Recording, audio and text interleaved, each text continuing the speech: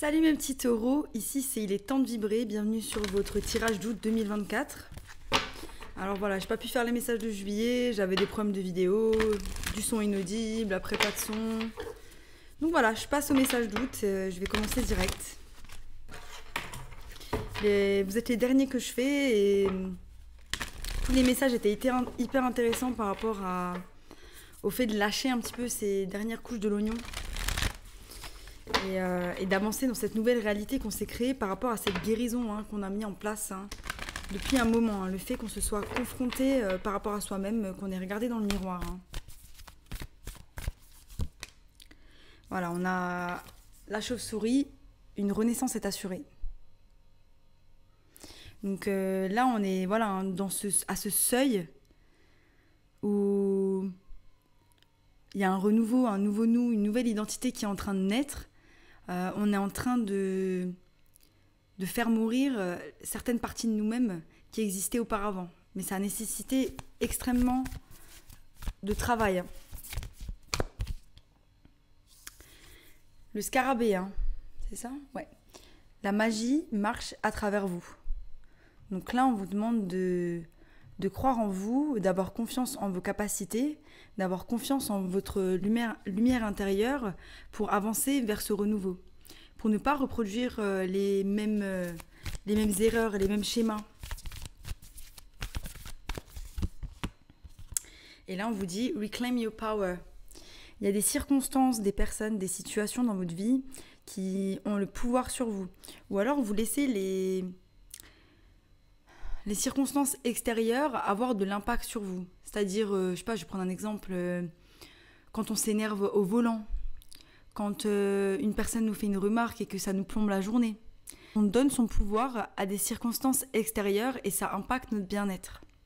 Donc là, on vous demande de d'être dans la lumière, l'amour, la compassion. Et surtout de ne pas laisser les choses extérieures impacter notre bien-être intérieur. Donc là, il y a, un bien-être ou à récupérer, ou il y a un bien-être à trouver. Hein.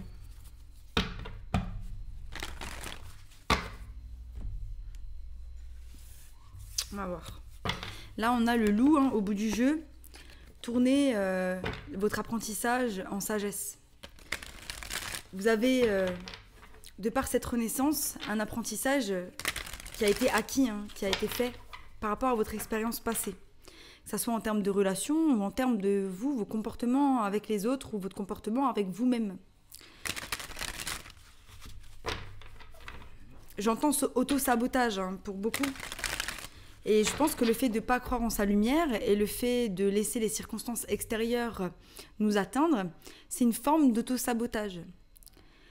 Alors là, il faut regarder bien à l'intérieur, hein. il faut essayer de comprendre quels sont les schémas de l'enfance ou quels sont les schémas qui nous poussent à nous auto-saboter. Est-ce qu'on se dit qu'on n'a pas le droit au bonheur? Est-ce qu'on se dit que la vie c'est trop dur? Est-ce qu'on se dit qu'on n'est pas heureux là où on est? Et si on n'est pas heureux là où on est, ou s'il y a des choses qu'on n'aime pas, si on ne peut pas les enlever, pourquoi pas les modifier? Pourquoi pas essayer de les réinventer, les recréer, pour pouvoir trouver un équilibre euh, là-dedans, parce que euh, je pense que la lumière intérieure ou même le bien-être ne se trouve pas forcément dans le bonheur, hein, le bonheur pur, hein, comme ils appelleraient euh, les bouddhistes, le nirvana. je pense que justement le bonheur, il se trouve dans l'imperfection, dans l'imperfection de nos vies, de nos choix. C'est ça en fait. Accepter l'imperfection, accepter l'erreur. Il y a un détachement à avoir hein, par rapport à des choses. On a envie de se créer euh, une, nouvelle indépendance financière où on est en voie hein, de, se, de se créer ça. Hein. On pense beaucoup à nos pentacles, mais il y a des choses, on, on tient, on tient à des choses toxiques pour nous. Ces schémas toxiques, ces formes de pensée. Cette guérison qui a du mal encore, qui nous colle à la peau. Cette douleur. Il y a aussi une douleur qui nous colle à la peau. Mais on a envie de prendre soin de soi, on a envie d'avancer vers du, bon et on va le faire. Hein. On va voir.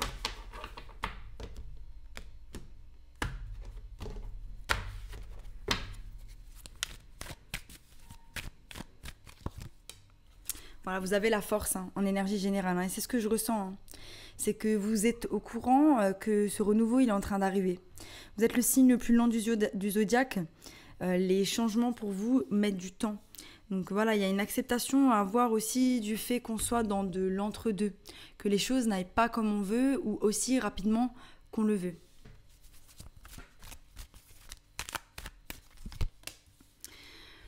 On parle de relations.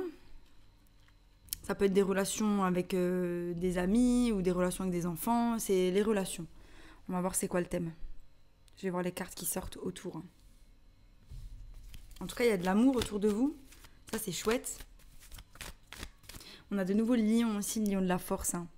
Donc on peut avoir le lion, euh, on peut avoir de la force hein, au sein d'une relation, hein. parce qu'on a vécu des moments un petit peu euh, challenging. Euh, il y avait des obstacles, des choses qu'on nous a mis sur nos chemins, mais c'est aussi l'univers qui teste nos relations pour voir si elles peuvent perdurer dans le temps. Et puis tout est cyclique. Il y a des moments où ça va, ou des moments où ça va moins. Mais je pense que l'essentiel, c'est d'essayer de faire de faire en sorte que les moments où ça ne va pas, ils durent le moins possible. Après, je connais pas les circonstances de chacun. Il y en a qui ont des circonstances qui sont plus difficiles que d'autres.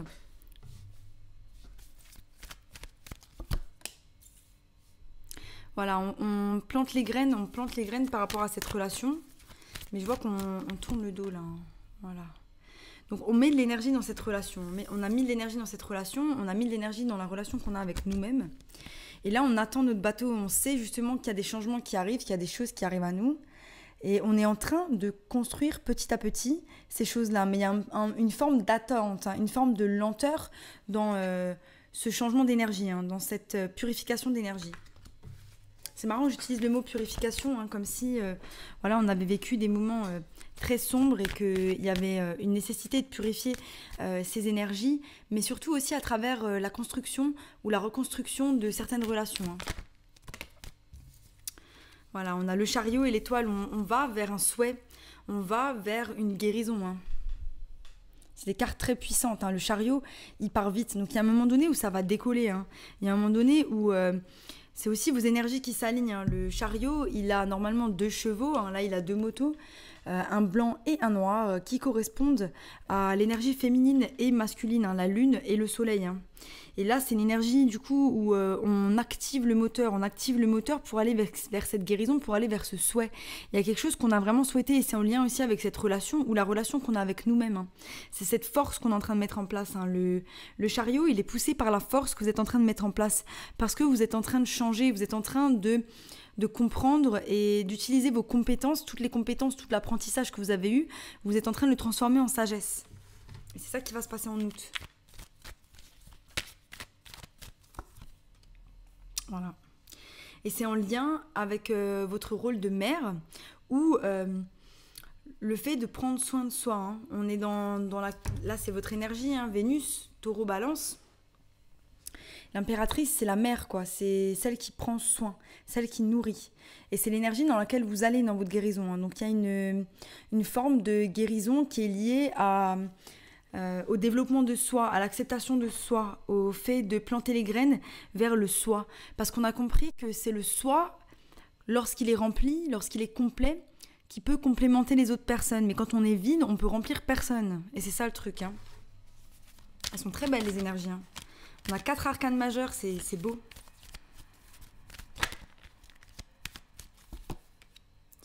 Magnifique. Hein. L'impératrice hein, qui ressemble énormément à l'énergie du neuf de coupe hein, pour moi. parce que c'est euh, la capacité euh, d'avoir une, stabilité émotionnelle qui est liée au fait de remplir ses propres coupes par soi-même. Donc là, on n'a on plus besoin des autres. On n'a que besoin de soi-même pour être bien. Et c'est ce que vous, vous avez travaillé jusqu'à maintenant. Et ça, c'est magnifique et vous continuez de travailler, vous continuez de créer des choses nouvelles. Mais je ne comprends pas pourquoi il y a Reclaim Your Power, c'est-à-dire qu'il y, a quand même une forme de résistance, j'ai l'impression, par rapport au fait de croire en soi, j'ai l'impression. De croire en soi, d'avoir confiance en, soi euh, et, de se pardonner, hein, de se pardonner le passé ou, euh, ou de se faire confiance. Parce qu'en fait, on a une image de nous dans le passé qui, est erroné. Parce qu'aujourd'hui, vous avez travaillé sur vous, vous êtes une nouvelle personne. Hein. C'est-à-dire que vous n'allez pas attirer à vous les mêmes obstacles vu que vous avez travaillé sur vous. Et c'est ça, en fait, il y a une peur, une forme de peur euh, du fait de reproduire les mêmes choses. Hein. Et ça a été pour beaucoup de signes ce mois-ci. Hein. Et voilà.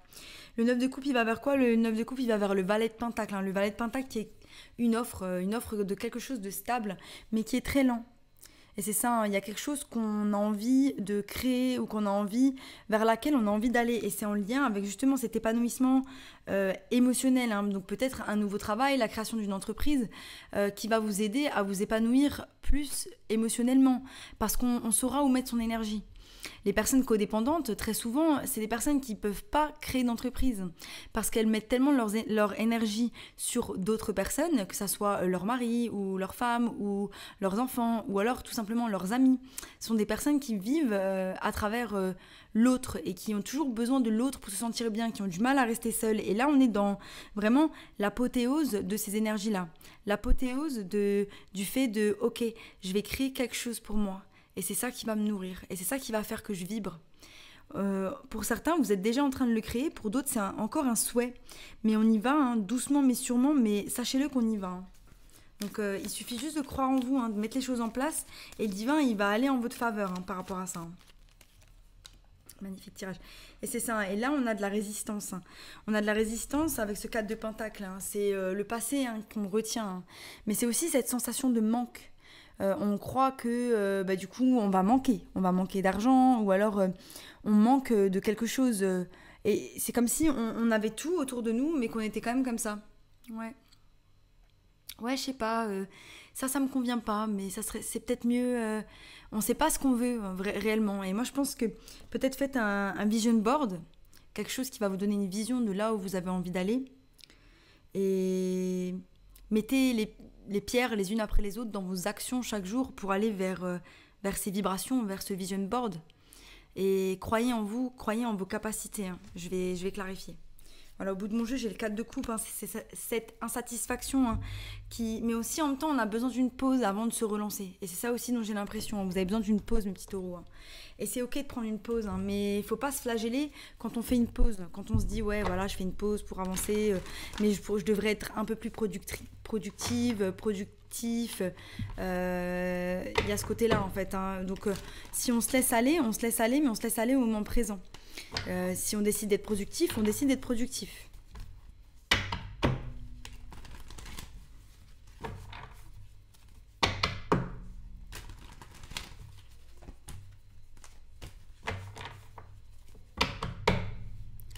Ouais, il y a, il y a y un schéma hein, par rapport à notre 10 de coupe euh, qui, qui est tombé, qui s'est effondré. On avait une vision de ce qu'on voulait de l'amour, euh, de ce qui était de l'amour. Et en fait, finalement, euh, c'est plus ça. Donc il y a une, toute une reconstruction de votre perception par rapport à l'amour qui est en train de se refaire. Mais euh, le divin, il est là. Le divin, il est là, il vous soutient et il veut que vous fassiez marcher votre créativité, que vous, fassiez, que vous vibriez, que qu'il y a un seuil là et c'est l'opportunité euh, d'aller et juste de profiter de la vie parce qu'elle est courte. Et c'est ça en fait, et vous vous en rendez compte chaque jour qu'une journée sans rire, c'est pas une bonne journée. Euh, on peut toujours relativiser. hein. Il y a du stress, il y a du stress par rapport au fait de passer ce seuil. hein. Il y a du stress par rapport au fait de passer cette porte. J'ai la sensation qu'on on, a du mal à lâcher prise, à lâcher prise pour euh, pour le jeu, pour euh, le fait de prendre soin de soi. On est aussi en analyse par rapport au fait de prendre soin de soi. Comment on va faire? Quelles sont les choses qu'on va mettre en place? Et je crois qu'on en est là. On va voir. De nouveau l'impératrice là au bout du jeu. hein. Donc grosse énergie de euh, j'ai envie de prendre soin de moi, j'ai envie de, euh, de me sentir bien dans ma tête, dans mes baskets, euh, dans ce que je fais, dans ce que je suis, dans mon quotidien. On a une grosse énergie de ça. hein. Voilà. Le lion, c'est par rapport à ce nouveau départ, hein, par rapport à ce page de coupe. Donc on a une énergie fraîche d'apprentissage qui arrive, mais aussi de créativité. On a envie de faire des choses nouvelles, mais qui proviennent de notre cœur. hein. C'est ça en fait. Et c'est aussi le divin qui nous tend une coupe hein, pour qu'on avance. Alors, sur le 2 de coupe, on a le 7 de pentacle suivi du 8 de pentacle. Donc euh, on investit réellement dans la relation qu'on a avec quelqu'un ou la relation qu'on a avec nous-mêmes. hein. Donc là, on est vraiment en train de planter les graines, de se nourrir pour aller bien. De nourrir toutes les facettes de nous-mêmes aussi. hein. Les bonnes comme les mauvaises. Le 8 de pentacle avec le 9 de bâton. Et c'est ça, on a un esprit de force, un esprit de combattant, là, mes petits taureaux, au mois d'août. On a envie de croquer la vie à pleines dents, on a envie que le monde soit à nous, on a envie que le monde soit à nos pieds. Et c'est ça que je ressens. Vraiment, énergie euh, du guerrier blessé. Donc là, on est déterminé à aller vers nos buts. On est déterminé à aller vers ce qui nous fera du bien. Et ça, c'est magnifique. Qu'est-ce qu'on attend? Pour certains, vous attendez l'illumination, vous attendez que vos spiritualités euh, vous tapent un peu à la tête. Moi, ce que je peux vous dire, c'est qu'il faut aller le chercher parfois, hein, faire de la méditation. Ça fait des mois là, j'ai pas fait de méditation. Je n'arrive pas à tenir 5 minutes de méditation. Euh, la spiritualité, pour moi, c'est du travail. C'est une connexion avec euh, son soi supérieur, avec son corps, avec son esprit. Un alignement qui fait que on on reste connecté. Mais c'est, il y a plein de choses, hein, la, nourriture aussi, hein, le moins de nourriture transformée, le moins de sucre, euh, voilà, le moins de choses mauvaises pour son corps, hein, parce que les choses mauvaises pour son corps baissent nos vibrations. Et on attend, euh, on attend l'élévation, parce qu'on sait qu'on est en train de s'élever. On a le grand prêtre. Je vais quand même mettre une carte dessus parce que il y a un truc. euh. Mais on est en pause, j'ai l'impression. Ouais. On attend aussi. De cette spiritualité, on attend de cette élévation, de cet enseignement, euh, de, de perdre ses peurs et de prendre une décision par rapport à nous-mêmes. Là, elle est sortie, mais elle est sortie à l'envers. hein. Et quand elle sort à l'envers, pour moi, vous avez pris la décision. Vous avez pris la décision d'enlever ce bandeau, vous avez pris la décision de, de prendre cette épée, de l'épée de la vérité, et euh, de la brandir, et de parler votre vérité, et de la vivre, et de l'être, et de l'incarner sur Terre. Et il y a une forme d'attente par rapport à ça, parce que peut-être on se sent pas prêt, on a besoin de se rapprocher du divin, on a besoin de se sentir encore bien.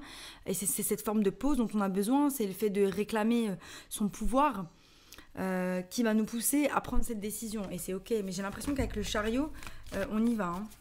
On va voir. Voilà. Et on fonce vers quoi? On fonce vers cette nouvelle perception du 10 de coupe, vers cette, euh, cette nouvelle œil qu'on va avoir par rapport à notre vie. Magnifique, on fonce vers ce 10 de coupe. J'adore. Pour certaines constructions de famille, hein. on a de nouveau ce 3 de bâton, voilà, ce 3 de bâton qui est en pause, euh, qui est en attente de choses qui doivent venir à nous, parce qu'il est en attente de, de cette illumination, de cette élévation spirituelle, euh, de ce moment. Donc il y a un moment de pause et c'est ok, c'est en lien avec votre guérison, mais mais il y a quand même des énergies qui arrivent très vite. Donc c'est comme si vous étiez en pause, mais a- vous êtes en pause, vous ne bougez pas, mais il y a quelque chose, une force extérieure qui vous transporte vers euh, ce 10 de coupe. Voilà. On a fermé un cycle, on a fermé un cycle par rapport à l'acceptation de soi, par rapport au fait de prendre soin de soi, par rapport au fait de s'aimer soi-même. Quand je dis on a fermé un cycle, c'est que on a bien travaillé et là, on rentre dans quelque chose d'heureux, de bienveillant, d'équilibré par rapport à soi-même. Et c'est ce que vous êtes en train de faire. Elle- là, c'est vous êtes en- dans l'énergie de l'impératrice et vous regardez ce cycle se fermer devant vous parce que c'est vous qui êtes en train de le fermer par vos actions. Magnifique. hein. Voilà, ce 9 de coupe, euh, il va vers euh, ce 4 de bâton. Donc c'est ce seuil dont je vous disais, hein, c'est le fait d'aimer la vie, de la croquer à plein dedans. C'est le fait de faire la fête, c'est le fait d'aller et de juste de kiffer cette vie euh, parce que c'est trop court et que euh, on a passé peut-être trop de temps à, s'en faire euh, dans la tête et que là on a juste envie c'est de mettre les, briques les unes après les autres pour apprécier ce moment, euh, cette expérience qu'on est venu faire sur Terre. Voilà, et là on en est là. Et c'est ça qui va créer une nouvelle opportunité. hein. Magnifique. Magnifique. Et l'opportunité, c'est quoi? C'est euh, c'est de recevoir. C'est de recevoir tout ce qu'on a donné à l'univers. C'est de recevoir euh, dans les relations aussi, euh, d'aimer, d'être aimé à sa juste valeur et d'aimer à les autres à leur juste valeur. Il y a une forme de je te donne et je reçois à égal. hein. Il y a un équilibre qui est en train de se recréer. hein. Il y a un équilibre en- au sein de vous-même et du coup qui va se réverbérer euh, dans euh, vos relations. Comme on dit, as within, so without. C'est même l'énergie du magicien. hein. On est en train de manifester un équilibre. Mais il y a encore un peu de résistance parce qu'il y a de l'apprentissage à avoir par rapport à ces peines. On est en résistance de- de- d'ouvrir les bras au soleil. On est en résistance d'ouvrir euh, les bras à cette énergie qui va nous ensoleiller. On a encore un peu du mal. Mais c'est parce qu'il y y a une forme de, de patience à avoir, il y a une forme de pause à avoir avec soi-même. Et c'est OK. Et je pense qu'il faut lâcher prise, se dire OK, patience aussi. Voilà, de se mettre dans les énergies de la tempérance. Et il y a aussi une forme de... Il faut creuser. Hein. Donc c'est, on n'est pas ouvert à ce soleil parce qu'on doit encore creuser sur des choses qui nous ont fait mal. Voilà. On a besoin d'avoir encore les idées claires euh, par rapport à ce 3DP, par rapport à ces choses qui nous ont tourmentés. Par rapport, on a besoin encore d'apprendre, on a besoin de se développer. Hein. Donc euh, vous lisez peut-être des livres d'autodéveloppement, euh, des livres qui vont vous aider à avancer, à guérir. Donc c'est incroyable, franchement, on sent que l'énergie elle est posée, on sent que vous êtes bien. Alors maintenant on va voir ce que les anges ont pour vous.